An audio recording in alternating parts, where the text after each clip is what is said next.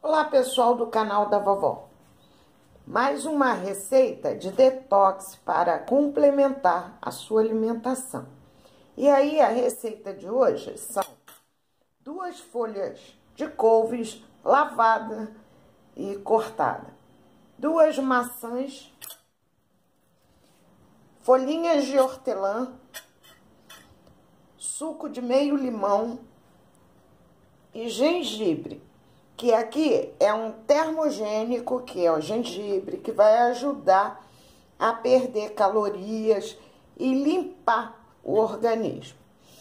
É a maçã, que tem vitaminas e todas as fibras que você precisa para que seu intestino funcione bem.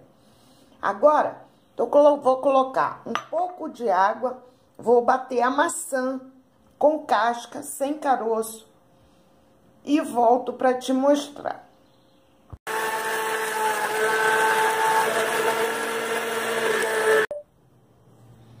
Vamos colocar couve com talo, a gengibre. Vamos bater. É, de preferência, tomar o detox sem coar. Então, gente, ficou pronto aqui o detox e de preferência tomar sem açúcar ou com adoçante ou mel. Isso, gente, é um alimento que vai te favorecer todo o seu organismo e fazer com que você fique mais tempo sem comer.